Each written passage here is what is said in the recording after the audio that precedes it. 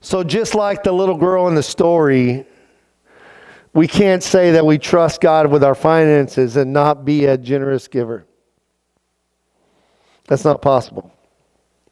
The Bible says you can't serve two masters. Amen. And we're going to go over that. Matthew 6, starting in verse 19. It says, Lay not up for yourself treasures on this earth where moth and rust destroy and where thieves break in and steal. Now we're going to pause right there for a moment. It says, Do not lay up for yourselves. Do not lay up for yourselves. It's not saying that you give, it says you hoard up your finances and lay them up for yourselves. Amen. It says, Do not lay up for yourselves. That means we gather things and gather and gather and gather and gather until what we're gathering goes bad and then we don't can't even use it anymore. Right? It says, Where moth and rust destroy. How many times have we had a vehicle and didn't use it and held on to it and held on to it and held on to it. Then years later, it was a bucket of rust. When all the meantime, you could have gave that to somebody that could have used it. We hoard food up. We save food because maybe for the winter time for power outages. And then how many times when you go through your cabinet, you look at something, you're like, that thing expired four years ago. I was, we were going to use something the other day. I was cooking and I think I was cooking. Anyway, we were looking for something and we, we found something we very rarely use and we pull it out and it's basically either unopened or barely open one time because you could see it was almost full and it had been expired for two years. So we very rarely, obviously, use that, right? We buy stuff and then we hold on to it and hold on to it and never use it. We buy clothes because one day we might fit in them and they stay in our closet till we're six sizes bigger than what that was. And then we wind up having to get rid of it anyway, right? We lay up for ourselves treasures on earth. We buy stuff, we hoard stuff and hold on to it until it gets destroyed or is expired. And it says, where thieves break in and steal. Don't choose to hoard stuff up. You hoard stuff up, it gets destroyed, and then eventually you can't use it anymore. Just give it away to somebody who can. Amen. How many times have maybe we've been there and we heard somebody can use something? You're like, well, I got one, but I really need two. I got one, I got a backup, but I don't have a second backup, so I can't give one away. I'm a planner, so that's. If I'm not 30 minutes early, I'm late. But when you're a planner, you like to have a backup because, you know, the thing that messes me up is every time I'm about to find something, that, about to use something, I'm like, man, I really could use this tool or this piece of thing that I saved that I threw away a week ago. And all that does is create more of a hoarder in me. Right? right? So we have to stop doing that. It says where thieves break in and steal. So who is the thief? The enemy. John 10:10 10, 10 says the enemy comes not but to steal, kill and destroy, but I have come to give life in that more abundant. See, the more stuff we have, the more opportunity we have when we hold on to those things and we hold dearly those things, it's easier for the enemy to come in and say, you know what? I'm going to destroy that thing because that's going to take them off to where they should be. That's going to take their focus off Him and put it on that thing. See, when we hoard up things, we have more things to be concerned about. And when we have more things to be concerned about, it takes our focus on where it should be. Amen?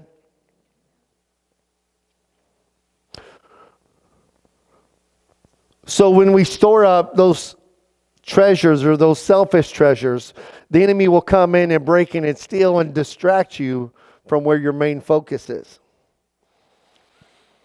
It says, But lay up for yourself treasures in heaven where moth and where neither moth destroy or moth nor rust destroys, and where thieves do not break in and steal. For where your treasure is, there your heart will be also. See, where your treasure is, where you put your finances and time into, that's where your heart's going to go to. It's a natural thing. If I spend time reading the Word, my heart's going to go towards God. If I spend time working on a vehicle, guess what? My focus is going to be on that vehicle. Amen? And it says, Where your treasure is, there your heart will be also. It says, The lamp of the body is the eye. If the eye therefore is good, your whole body will be full of light. But if the eye is bad, your whole body will be full of darkness. If therefore the light that's in you is darkness, how great is that darkness? Then it comes down to this right here. No one can serve two masters. He will hate the one and love the other, or else he will be loyal to the one and despise the other. You cannot serve both God and mammon. Mammon is the demon god of things, pride, riches, money, finances, and it money in itself is not bad at all. I'm not going to tell you that. People say that. People say that because they want you to give it to them. Money's not bad. Money, the only value money has is what we place on it. If you have a, a bill and it, it's a $1 bill, that bill doesn't have much money to you much value to you, does it? But if that bill has a one and four zeros behind it, that same paper bill that's made on the same paper, printed with the same type of ink, has totally different value to you. It's not the value of the bill itself, it's the value that we place on it. Amen? It says, Therefore I say to you, do not worry about your life, what you will eat or what you will drink, nor about your body, what you will put on it.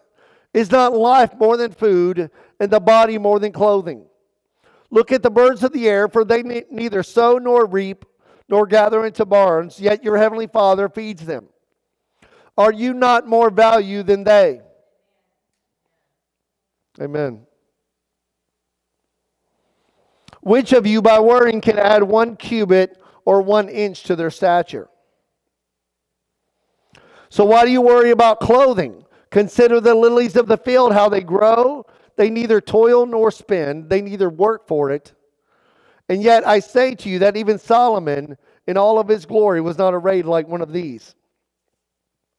Now, if God so clothes the grass of the field, which is today is and tomorrow is thrown into the oven, will he not more clothe you, O you of little faith.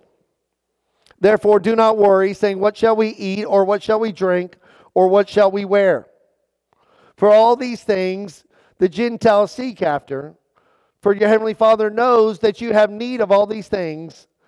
But seek first the kingdom of God and his righteousness, and all these things will be added unto you. Therefore, do not worry about tomorrow, for tomorrow will worry about its own things. Sufficient for the day is its own trouble. See, we worry about those things because we're worried about tomorrow. Too many times we look at the past, we look at the future, what's going to happen. We look at the past, what we've done, our issues in the past, instead of focusing on the present. We need to focus on today. You can't change tomorrow without doing something today. Amen? So don't worry about the consequences tomorrow. Because all that's going to do is have you worrying. It's going to get you stressed. And you're going to forget about everything that you really have to do today. All of this comes down to is who is our provider? Who is our provider? Is God our provider or are we our provider? Amen? So if we understand that God is our provider, we don't worry about where stuff comes from. Amen? We have to learn to trust God in every area of our life, not just finances. We have to trust God with our spouse. We have to trust God with our children. Amen?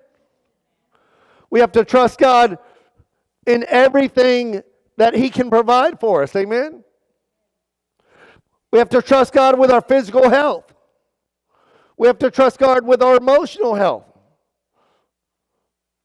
That's why we worry so much because we're not trusting God to deal with the things that we can't deal with. Amen? We have to learn to give those things over to God. God can never bless you in an area if you have control over it. God can never bless you in an area if you have control over it and if you're not willing to give it away to Him.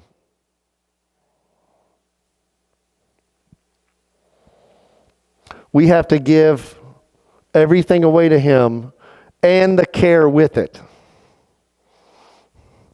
See, we don't just give our kids away to God and say, God, they're yours, but then take the care of them. See that? We can't give them away and hold on to the care because we really haven't given them away. Right? We can't give our finances away to God and hold on to the care because we haven't really trusted God with our finances. We can't give the care away about our job and still worry about it. That's holding on to it. When we give something to God, we say, God, I'm going to do my best, and the rest is up to you. I'm not going to worry about it. I'm not going to be concerned. When you get a bill, you say, God, I work, I give, this is your bill now. You take care of it. When your kids have issues, you get a phone call, they're in jail or whatever, say, God, I prayed for them. I raised them in your ways. They're yours now.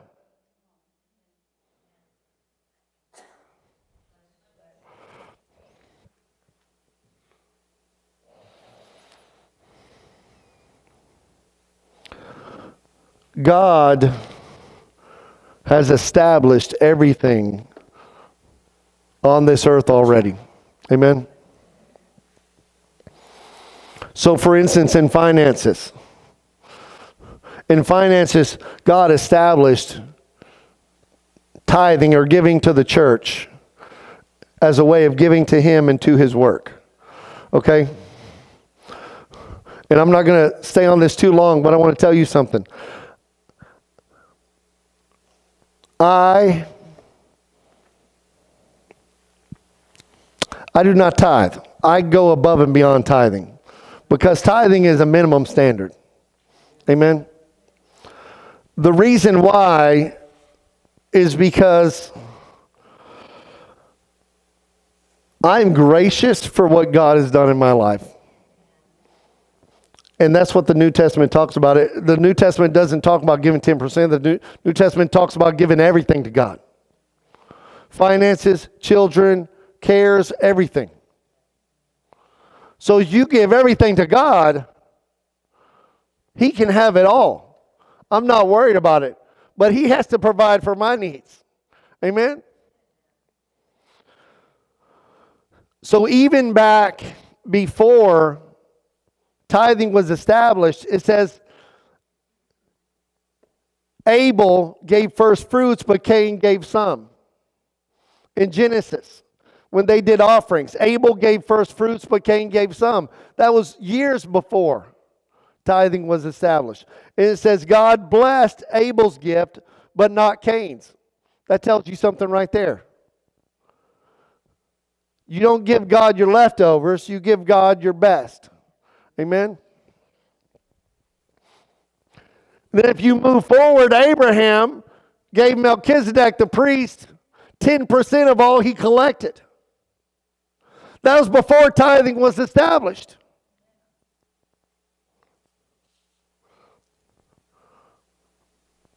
I'm not here to tell you what to give because that's not my job. My job is to tell you what the Bible says. And honestly, I can't tell you what to give because you won't listen to me anyway. Because I could tell you to stop sinning, but if you like the sin, you're going to keep sinning. Is that right? But the fact is, I'm telling you, if you don't give something to God, there's no way you can prosper in that area. You can't hold on to your kids and raise them the way you want to, away from God's ways, and then them go up to be godly men and women unless it's a miracle of the Lord. He said, Train your children in the way that they should go, and in the end, they will not depart. He told us that for a reason. He said, Give your kids to me, and I will take them, and I will bless them, and I will keep them. But if we keep holding on to them,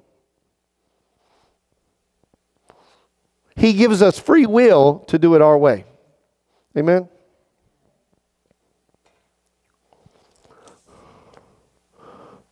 God blessed, blesses those who give things to Him. Amen. In reality, your gift is your approval of God. Whether if you give your kids to God and the cares of your kids, you're putting your faith and trust in God. Your finances, when you give your finances to God, you're putting your trust and faith in Him. You're not putting your trust in a church or in a person, you're putting your trust in, in God. When you give to a particular church, you're putting your trust in that church that they're doing what God has called them to do.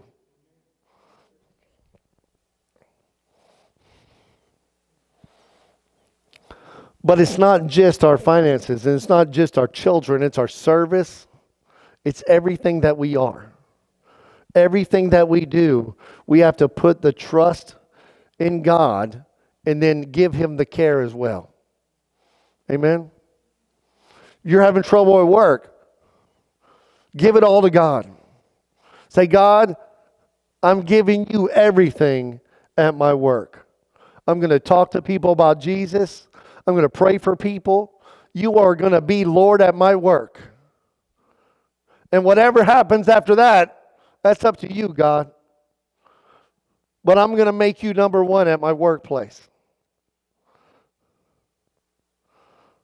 But everything that you do, you have to put God first. Turn with me to Luke 7. Luke 7, verse 36. Luke 7, verse 36.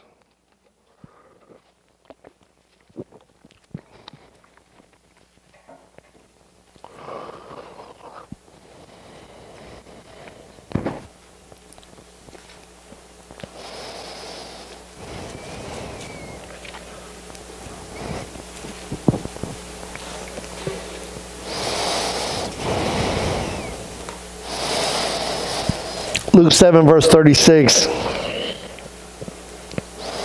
It says, then, it's talking about Jesus. It says, Then one of the Pharisees asked him, Jesus, to eat with him. And he went into the Pharisee's house and sat down to eat.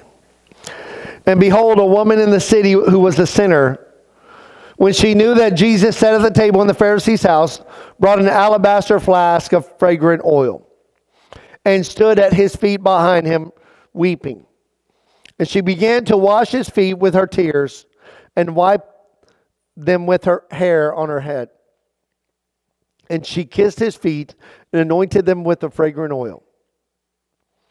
Now, when the Pharisee who had invited him saw this, he spoke to himself, saying, he's saying this in his head. This man, if he were a prophet, would know who and what manner of woman this is who is touching him, for she is a sinner. And Jesus answered and said to him, He heard the thoughts that the man was thinking, and he answered and said, Simon, I have something to say to you. So he said, Teacher, say it. There was a certain creditor who had two debtors. One owed 500 denarii and the other 50. And when they had nothing with, with which to repay, he freely forgave them both. Tell me, therefore, which of them will love him more? And Simon answered and said, I suppose the one who he forgave more. And he said to him, You have rightly judged. Then he turned to the woman and said to Simon, Do you see this woman? I entered your house, and you gave me no water for my feet. They wore sandals back then, so it's not like wearing shoes. They wore sandals, so their feet were dirty all the time. So he walks into the house, and the, the man who was the Pharisee did not wash his feet. It says, But she has washed my feet with her tears and wiped them with her hair on her, of her head. You gave me no kiss to greet him. But this woman has not ceased to kiss my feet since the time I came in. You did not anoint my head with oil, which are all customs. But this woman has anointed my feet with fragrant oil. Therefore I say to you, her sins, which are many, are forgiven, for she loved much. But to whom little is forgiven, the same loves little. Then he said to her, Your sins are forgiven. And those who sat at the table with him began to say themselves, Who is this who forgives sins? Then he said to the woman, your faith has saved you. Go in peace. Everybody's a sinner. Every single person. Everybody has so, pre Christ, has so much sin in your life, you don't even know that it's sin. So, as we're walking around living this life, this sinful life that everybody's living, everybody's having issues. And I'm not, even if you go by the the Old Testament, there's about 1,080 commandments that we were supposed to do. Even if you take those out and you go with the two that Jesus gave us, which is to love God with everything that you are and love your neighbor as yourself. And he said how to do that, which was to, to do unto others as you would want them to do unto you. So even if you just take those, the new ones, not the 1080, we all fall severely short. Now, the issue is there's some people that maybe walk around that maybe think that God didn't have to forgive them very much. Well, I'm not a very bad sinner. I, I sin just a little bit. It's not how much you sin, it's how much you realize you sin. This is pre Christ. And that's why people don't give their life to Christ because they don't realize that they need a Savior. Because they don't realize how bad their life is because it says even the heavens declare the glory of God. So you can't look around this earth and not know that God is real. So the fact is that we all need someone to help us, right? We all get down, we all have issues. But see, when I gave my life to Christ, there was no doubt that I needed Christ.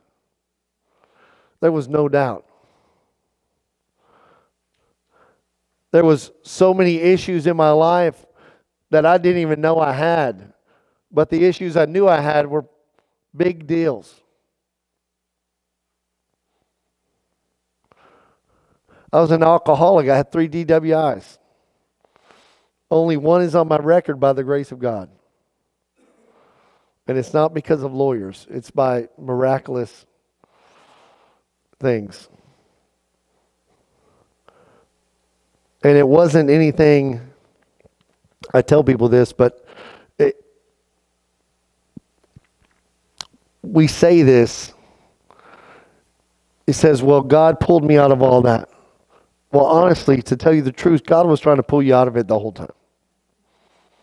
Your eyes were just finally open to His grace and His love. And the world wants to pull you away from all that. The world wants you to think, you know what? You're not that bad. You don't have that many issues. But everybody has issues. And that's why this man, Simon, when Jesus walks into the house, Simon didn't feel like he was a bad guy. He was a Pharisee. He didn't feel like he really needed Jesus. He didn't feel like he really needed a Savior. He was religious. He was a leader in the church. That's okay. He's good to go. But he wasn't. Jesus was most harshest to the religious leaders because they were teaching things and not following them.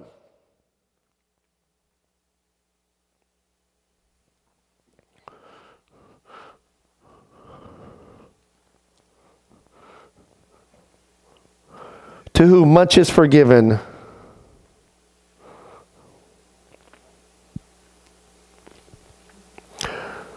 Therefore I say to you, her sins, which are many, are forgiven, for she loved much. But to whom little is forgiven, the same loves little. When we realize how much we've been forgiven, we want to bless God every day because where He brought us out from. See, after Christ, the Bible says you're a new creation. The old one has passed away and the new one has come. So you're no longer what people refer to as a saved, a, a saint that's a sinner. That's not true. The fact is, Jesus, when he dies for you, God looks at you through the veil of the blood of Christ. And he no longer sees you as a corrupted individual, but he sees you as somebody who's set free. Amen. And it's deception of the enemy in this world is the one that's telling you that you're not good enough for God. See, I love Jesus a lot because I've been forgiven a lot. Amen. Amen. There's no doubt in my life that I needed Jesus. And I realized that. I realized that from the time I got saved, I started serving God and we started serving in the church. The pastor gave me the keys. I wasn't even saved yet. We were teaching, God help them, but we were teaching Sunday school to little kids before we were saved.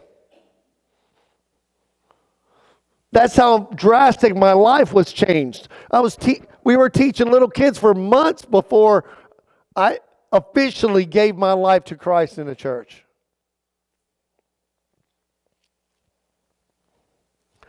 Everybody's been forgiven a lot.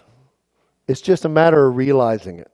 And when we realizing it, when we realize that the generosity in our life will change because we'll start seeing people that have issues and we'll want to help them because we've been there before.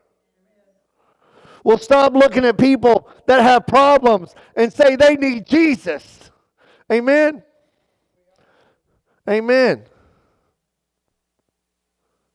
See, when we look at people and say, well, he's just a bad guy, that's just a bad girl, they'll always be like that. You're limiting God in their life. Because the truth is, all they do is they need Jesus. Living generous and understanding about that means I owe God everything in my life. I owe him my children, and sometimes I hold on to them and try to raise my child my way, and it doesn't work my way. And her mom said, Amen.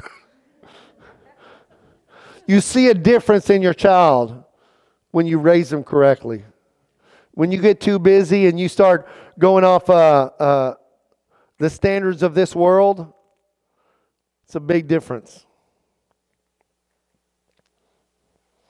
I don't give God everything because I'm a pastor. I became a pastor because I gave God everything. Amen. So you can't give God everything once you get a title because it's too late then. I would have never became a pastor if I didn't give God everything.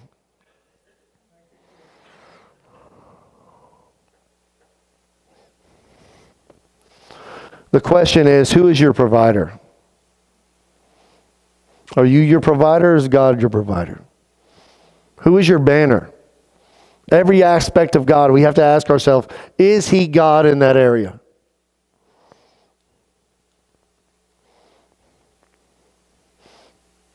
God told the Israelites that I am the banner.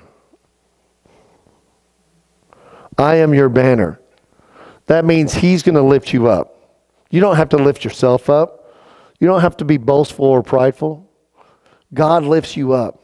It says when you humble yourself before him, he lifts you up. Amen. You don't have to trust in yourself to lift yourself up.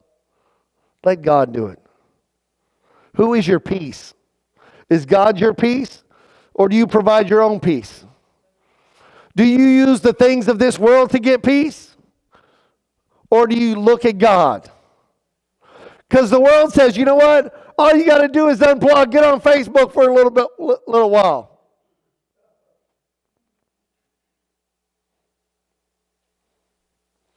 Are you agitated? Grab a few beers. That's what the world says. I used to do that, and a couple led to a lot. When you need, when you need peace in your life, when you're life looks all chaotic, just dig deeper into God. His word will tell you exactly what you need to know. And when you establish a relationship with Him, everything, His voice becomes clear and everything in your life lines up. I can tell you, I've been through times where our whole life was falling apart on the outside. And if you looked at us from the outside, you've been like, they must be idiots because they must not know what's going on in their life. We were sitting there not being able to pay bills, and our car was breaking down, and God provided for all of it. And we didn't even tell anybody. God just gave us money. But that's what He does. Don't tie His hands. Don't tie his hands. Put him first in everything that you do. Everything. Whether it's your kids, your money, your time, your job, anything. Give God everything. And don't do it begrudgingly. Don't hold back. Give God everything because He will show Himself true to you. Amen. Too many times we want to be our own source. We want to be our own provider. Amen.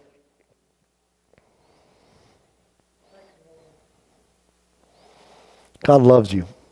Amen. And there isn't nothing that He doesn't want to do for you. He wants to show Himself true in you, but He can't do it if we don't act first.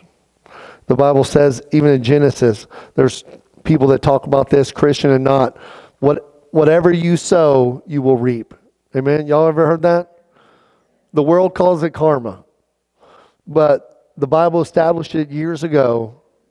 Whatever you sow, you will reap. Love on people. It doesn't matter what they do to you. Don't let your pride get in the way.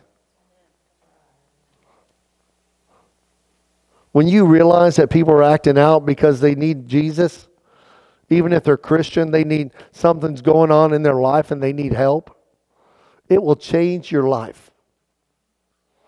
Because when that person gets on to you or cuts you off, you'll realize you need to pray for them instead of going after them. Amen.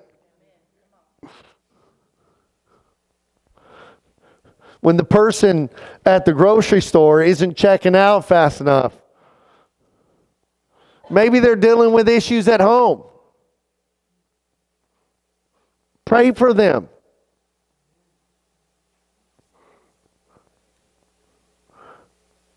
You cannot imagine, you cannot even fathom how many times we've talked to checkout people and prayed for them right in line. And then sometimes the people behind us start praying.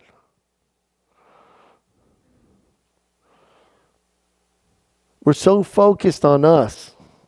We're so focused on providing for ourselves and getting in and out so fast, we forgot to check out and love on the people around us.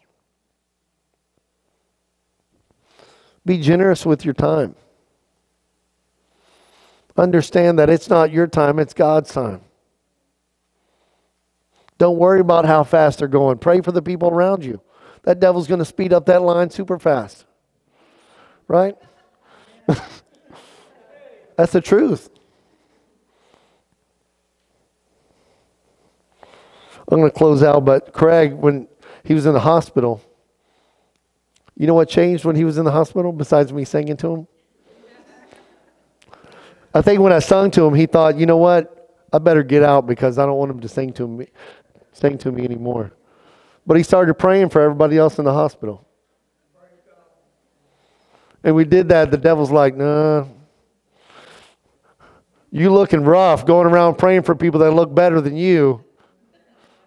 I don't need that no more in this hospital. You're getting out, buddy. You put God first, it changes your life. It changes your life. Amen.